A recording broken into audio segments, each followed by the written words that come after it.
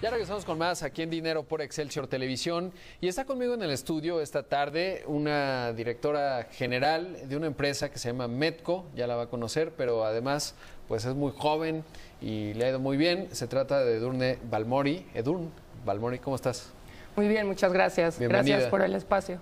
Al contrario, oye, primero saber qué es Medco. Medco es una empresa 100% mexicana. Llevamos más de 25 años de experiencia en el tema de endulzantes.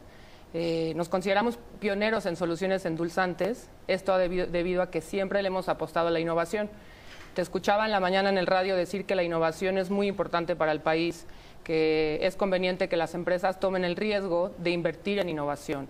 Eh, Medco es una empresa que prácticamente el 5% de todo lo que generamos en ventas se va directo a la investigación y desarrollo y a generar patentes. Esta parte de investigación, pues bueno, no es algo que se ve a corto plazo, pero a largo plazo es lo que nos ha dado la diferenciación en el mercado. Por supuesto, y es que eso finalmente es lo que hoy comentaba en radio, porque muy pocas empresas mexicanas, eh, 100% mexicanas, buena parte de las patentes que se hacen en México son farmacéuticas o empresas transnacionales que operan en México y las hacen desde aquí con equipos mexicanos muchas veces. Es Pero hay pocas mexicanas que tienen esta visión. ¿Qué es lo que, lo que ha definido, cómo explicarías, digamos, esta visión de apostar a la innovación de manera tangible? Pues mira, yo creo que en cualquier industria es importante. En la industria de alimentos eh, el mercado ha sido cada vez más competido, entonces estar eh, abrazado del tema de innovación siempre tiene que ser un gran reto. Medco es lo, que, es lo que nos ha diferenciado a través de los años y es lo que nos lleva hoy en día a poder generar productos que sigan compitiendo, que sigan teniendo esa diferenciación. Eh, nosotros estamos apoyados en diferentes instituciones como el Politécnico Nacional y como también decías en la mañana, pues México tiene el la capacidad intelectual. Contamos con todo el personal eh, profesional para lograr sacar productos que estén pegados a una investigación y desarrollo propio. Por supuesto, ¿cómo se da la parte del gobierno? Porque yo decía que se trata de un triángulo en la mayoría de los países que innovan más. Es por un lado el gobierno, que no podemos estar esperándolos, como es el caso de ustedes, y qué bueno. Otra parte, la, la armonía que se tiene que dar entre la academia y, por supuesto, el sector privado, ¿no? Que es finalmente, en este caso, ustedes que lo patentan y están obteniendo un beneficio, pero sobre todo innovando. ¿Cómo, cómo les va en el ángulo de, de la parte del gobierno? ¿Hay, ¿Hay incentivos? ¿Cómo lo viven ustedes? Pues mira, Medco pertenece a la mayor parte de las cámaras de alimentos en México.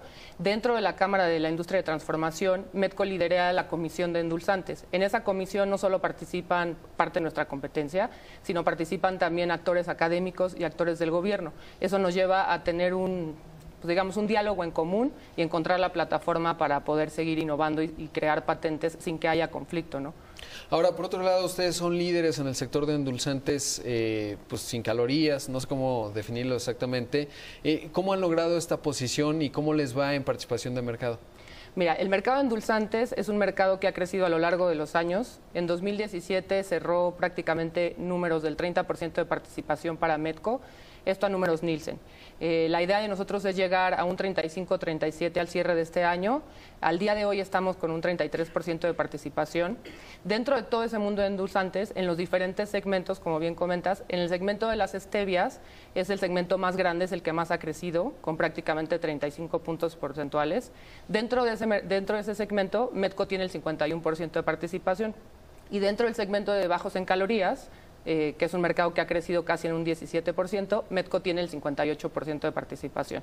Y eso lo hemos logrado no solo a través de la innovación, sino también apoyándonos en campañas BTL, en redes sociales, que es lo que hoy te ayuda a atraer nuevos consumidores, así como diversificando el mercado. Hoy en día estamos con presencia, por ejemplo, en España, en Canadá, en algunos estados de Estados Unidos, en prácticamente todo Centroamérica y también somos expertos en crear aplicaciones muy particulares para la industria.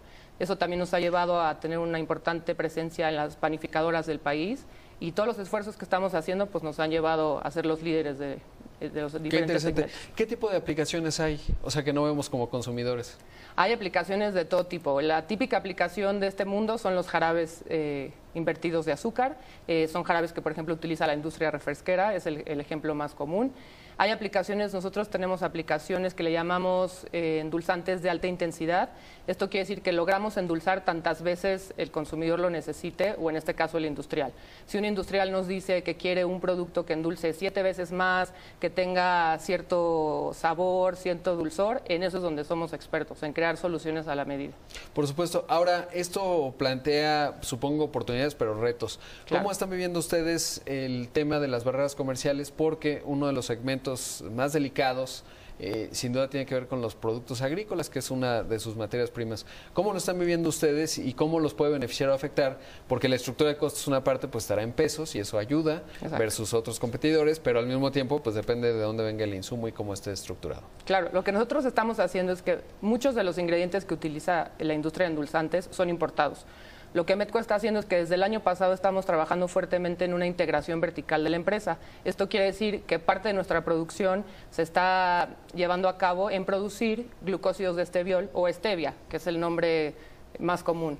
Y eso no solo nos va a llevar a tener abasto interno, sino también nos va a abrir diferentes mercados, porque ahora vamos a poder ofrecer un ingrediente con mejor tecnología y con mejor sabor a lo que ya se conoce hoy. Eso nos va a ayudar en cierta forma a dejar de depender de importaciones y tener una integración vertical de todo el negocio. Oye, según me acuerdo, tienes menos de 35 años, eres directora general.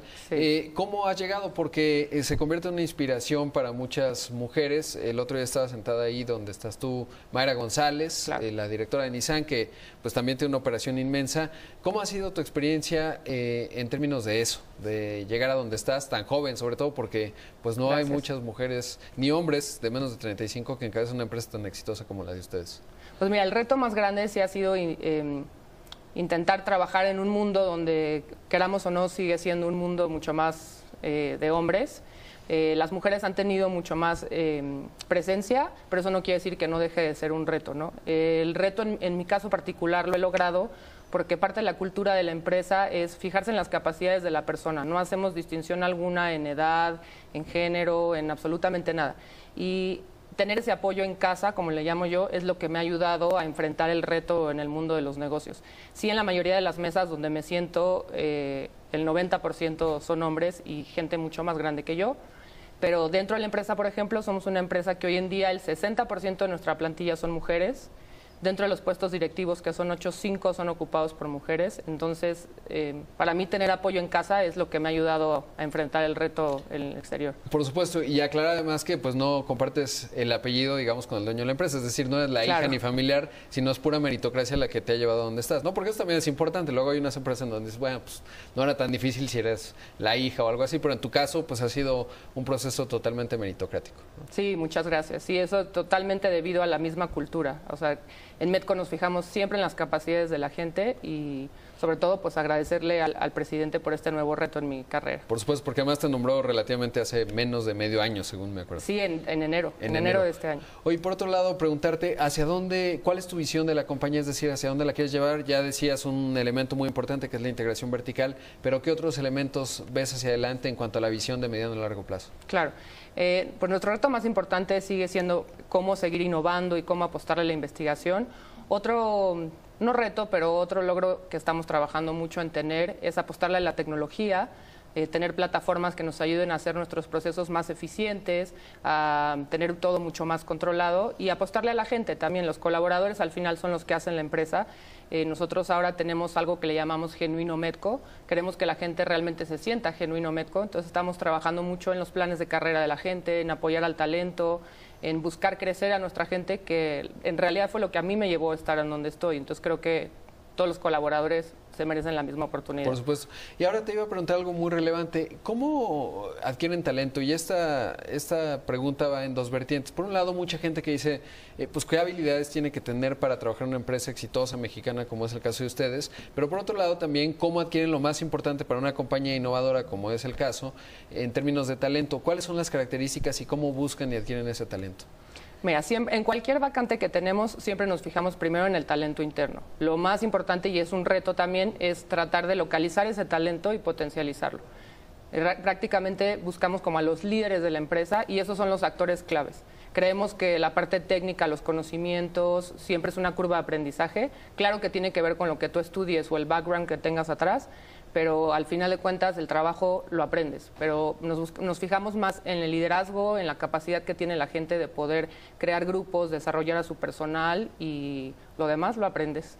Por supuesto, que es un aspecto muy importante, ¿no? A veces tiene que ver más con la actitud que digamos con el título que puedas tener colgado en la universidad, que sí es muy relevante, pero no lo es todo, ¿no? Y eso sí es un aspecto importante.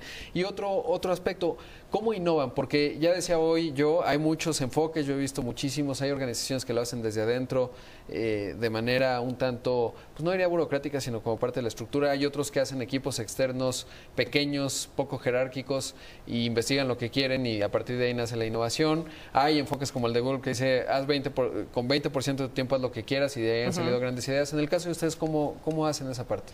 Nuestra innovación parte de cualquier persona de la empresa. Nosotros tenemos la típica política de puertas abiertas, lo que quiere decir que cualquier persona puede generar una idea. Lo que intentamos es siempre convertir esa idea en una realidad. Hay un equipo que estudia la viabilidad del proyecto.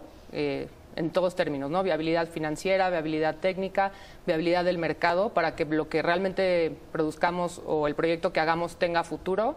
Pero realmente lo que intentamos hacer es dejar la idea abierta a la innovación. Cualquiera puede llegar con nosotros con una idea y lo, lo, desarrollamos con un equipo interno. Tenemos un muy buen equipo de investigación y desarrollo y de aplicaciones, que es nuestro fuerte, ¿no? Y es justo eso que decíamos al principio, aprovechar la capacidad intelectual interna y mexicana. Por supuesto. Pues un gusto tenerte por aquí. Ah, un gusto, muchísimas gracias por el espacio. Vamos a hacer un corte, regresamos con más aquí en Dinero por Excelsior Televisión.